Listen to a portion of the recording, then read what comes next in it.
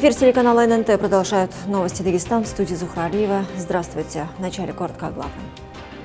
Комфортно жить не запретишь. Более 30 общественных пространств, парков, скверов будет благоустроено в столице. Вместо урожая – токсичный и бытовой мусор. В Карабудахкинском районе началась ликвидация большой несанкционированной свалки.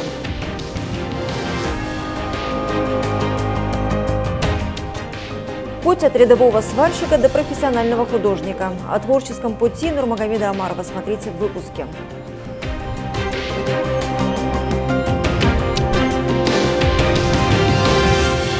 Депутаты Народного собрания приняли отставку спикера парламента. Сам Хизришек Саидов на сессии не присутствовал. Открыл и вел заседание первый заместитель председателя Дагестанского парламента Сагид Ахмед Ахмедов. За принятие постановления проголосовали 64 депутата, против – двое. Один воздержался и четверо не голосовали. Сегодня перед началом утра в 9 часов Хизрисаевич попросил вот те же слова благодарности, они относятся к каждому депутату, я как большим уважением отношусь ко всем Напомню, что ранее спикер парламента Хизриших Саидов подал заявление с просьбой освободить его от должности в связи с выходом на пенсию. Хизриших Саидов проработал в структуре более 8 лет. Более 30 общественных пространств, парков, скверов будет благоустроено в столице в рамках федерального проекта формирования комфортной городской среды. Салман Дадаев не только ознакомился с ходом ремонта по проспекту Петра I, но и выслушал волнующие темы жителей. Алина Багилова продолжит. На Петра I в Махачкале благоустраивают целый квартал. В микрорайоне редукторной запланирован ремонт трех дворовых территорий и одного сквера. Два въезда на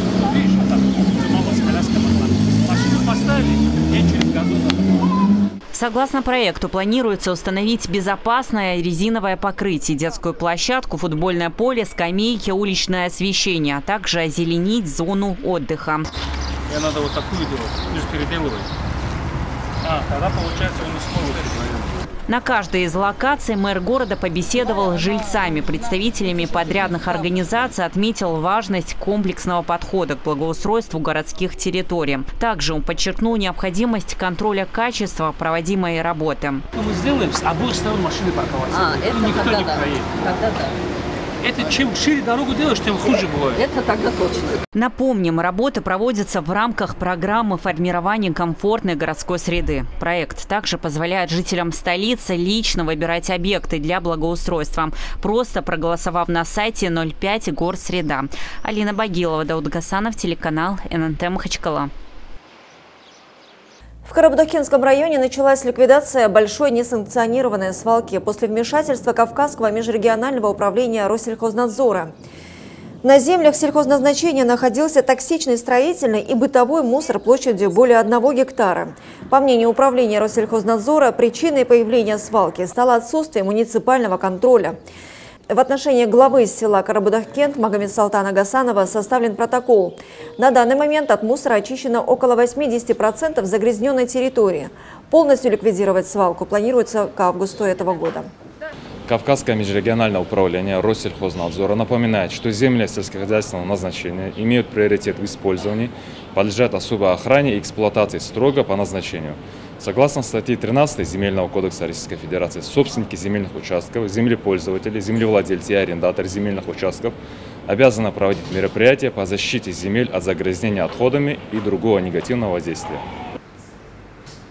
Минобороны построит в Дагестане более 70 социальных объектов, 16 школ почти на 9 тысяч мест, 50 детских садов и если более чем на 9 тысяч мест. Об этом сообщил заместитель министра обороны России Тимур Иванов.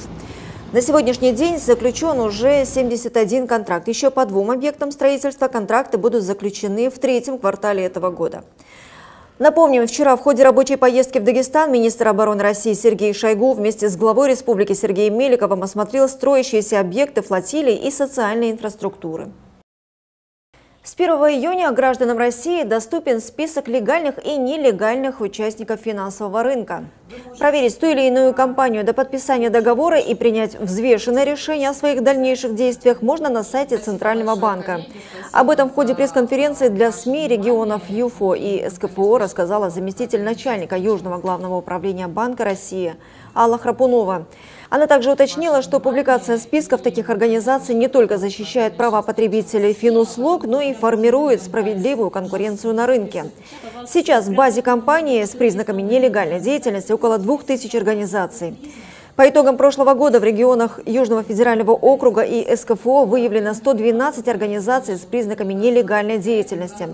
В Дагестане выявлено 13 нелегалов финансового рынка. С полным перечнем компаний можно ознакомиться на сайте Банка России. Ради защиты интересов граждан Банк России принял решение информировать о выявленных нелегальных участниках финансового рынка до момента прекращения их деятельности, что очень важно. Это сделано специально для того, чтобы граждане могли заранее сориентироваться, принять обдуманное решение и постараться не попасться на удочку мошенников. Мы призываем всех граждан быть внимательными. Что это значит? Мы рекомендуем проверить информацию о компании, финансовые услуги, которые привлекли вас, до момента заключения договора. Это можно сделать э, на сайте Банка России через вкладку «Проверить финансовую организацию». Она находится на главной странице сайта э, Банка России. Первый заместитель муфтия Дагестана Абдулла Аджималаев посетил с рабочим визитом Республику Татарстан.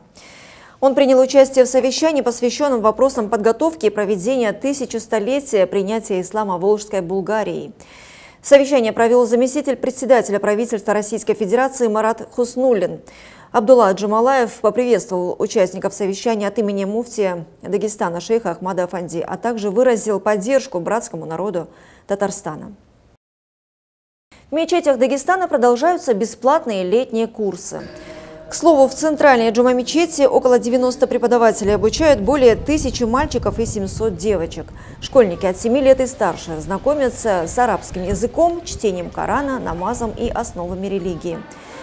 Уроки проходят с 9 утра и до обеда каждый день, кроме пятницы, и продлятся до 20 августа. Набор в группы еще продолжается. Как отмечают представители муфтията, такие занятия помогут уберечь наших детей от пагубного влияния общества и соцсетей. Кто бы подумал, что обычная детская игрушка может сподвигнуть на творчество. Хобби дагестанского сварщика Нурмагомеда началось с железного человечка, которого он смастерил для своего сына. И вот спустя 12 лет музей Махачкалы представляет персональную выставку Нурмагомеда Амарова «Железо». О творческом пути художника и скульптора расскажет Карим Данеев. Железо. Для кого-то строительный материал, а для кого-то инструмент вдохновения – Нурмагомед Амаров нашел второе применение своей технической профессии. Сварщик по специальности уже 12 лет делает из металла скульптуры. Здесь не важно иметь образование, потому что есть в истории искусства примеры, где люди, не имеющие художественного образования специализированного, просто открывали вехи целые в искусстве. И тут э, это либо есть, либо нет. А вот у него еще очень э, высокое чувство стиля, композиции, э, вкуса. И я просто могу поздравить всех нас, что у нас появился новый художник. Первую свою скульптуру Нурмагомед сделал для сына. Это был забавный железный человек. Затем были другие работы. Амаров увлекся созданием скульптур из металлических отходов и лома. Это Дон Кихот.